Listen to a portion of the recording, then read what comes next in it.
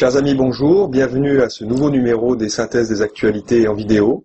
Aujourd'hui, nous recevons le docteur Nicolas Jovenin, oncologue à l'Institut Jean Godino, membre de l'association francophone pour les soins oncologiques de support, l'AFSOS. C'est lui qui coordonne notamment euh, les journées des référentiels.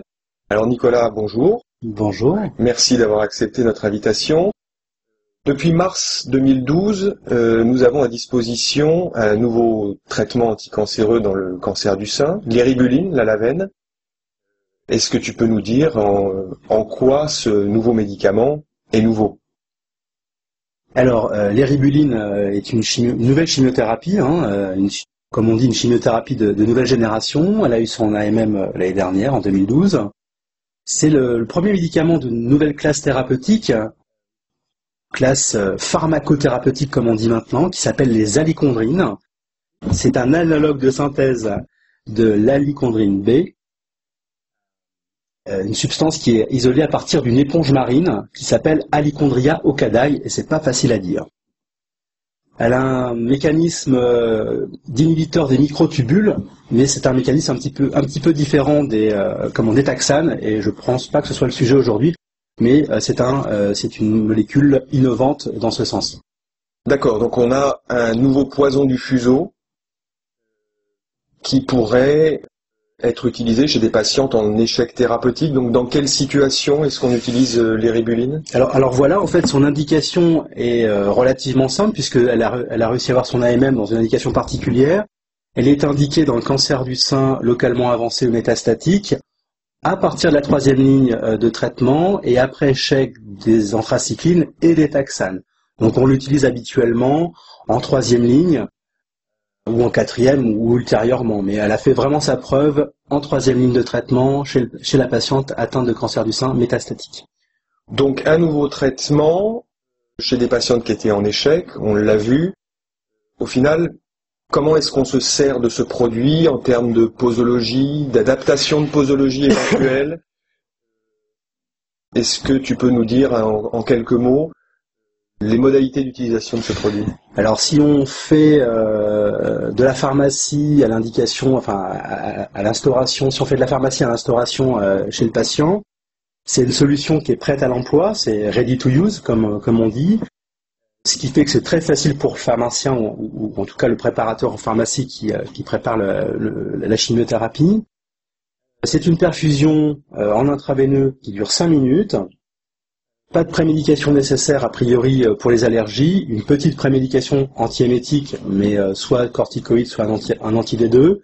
Et c'est prescrit à 1,23 mg mètre carré, J1, J8, reprise à J22, alors, à noter sur cette, sur cette dose de 1,23 mg m2, c'est que dans les papiers, on a 1,4 mg. En fait, le 1,4, c'est du 1,4 euh,éribuline mésylate, et 1,23, c'est l'éribuline, celui qu'on a, mais c'est équivalent, en fait. merci. Est-ce qu'il y a des précautions particulières à prendre chez euh, le patient, la patiente, euh, insuffisante hépatique, insuffisante rénale? Alors, j'allais y venir justement trois, cas un petit peu où il faut faire attention quand on prescrit euh, à la veine. Chez l'insuffisant hépatique, donc on va partir du, score de Child-Pug. C'est un score qui, euh, qui prend en compte l'encéphalopathies, qui prend en compte l'acide, la bilirubénémie, le taux de prothrombine et l'albuminémie. Alors, euh, je, vous renvoie, je vous renvoie sur Internet. Il y a un papier HAS qui fait le, qui explique comment on classe les choses. Donc trois stades, stade Child-Plug A, B et C. Chez le A, c'est des cirrhoses légères, on va dire. Donc on va baisser de 20% la, posologie, on passe à 0,97 mg m2. Dans le Child-Pug B, donc des cirrhoses plus avancées, on va baisser de 50% la posologie avec euh, une posologie à 0,62 mg m2. Et Child-Pug C, ça n'a pas été euh, étudié et euh, personnellement, je prescrirai pas cette chimiothérapie chez ce genre de patients. Deuxième, les insuffisants rénaux. Alors les insuffisants rénaux, on va parler euh, de clairance de la créatinine.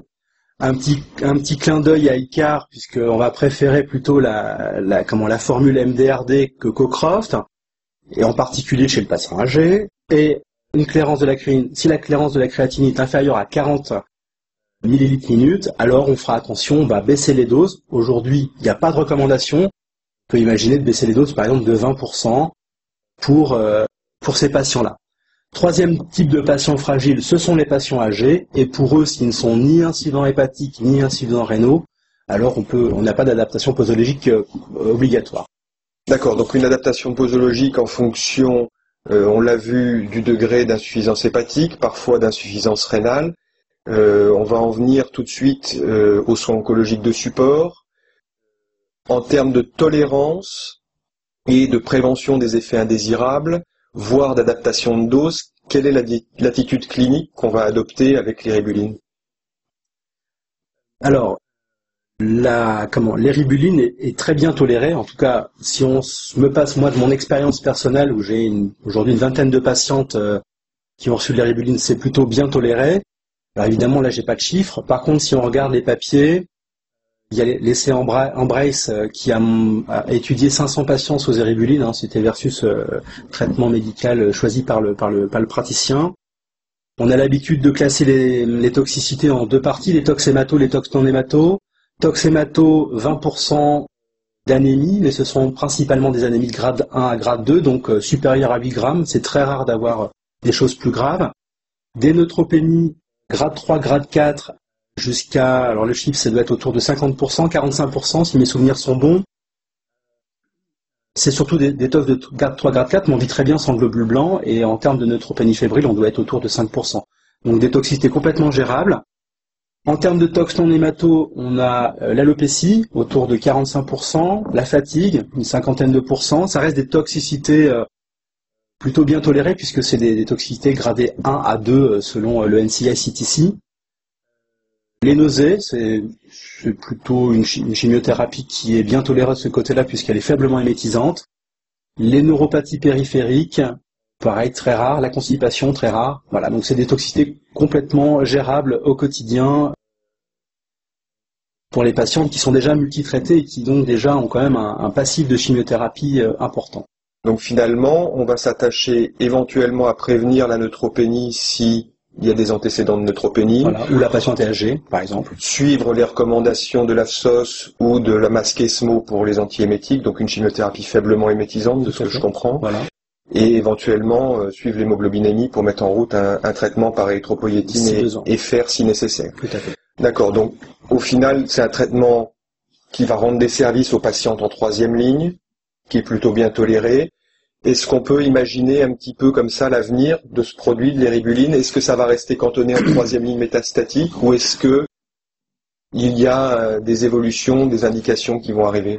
Alors, cette chimiothérapie est très intéressante parce qu'en fait, elle a mis un, coup, euh, euh, de massue sur la méthodologie des essais thérapeutiques en cancérologie. En troisième ligne, elle a montré un bénéfice en survie globale. Ça, c'est quelque chose qu'on n'avait encore jamais vu, euh, ou très, ou trop rarement, et malgré donc l'utilisation chez des patients multitraités, on a un gain en survie globale. On passe, on a gagné 2,5 mois dans l'essai Embrace, c'est significatif, etc., etc., avec un hazard ratio à 0,80.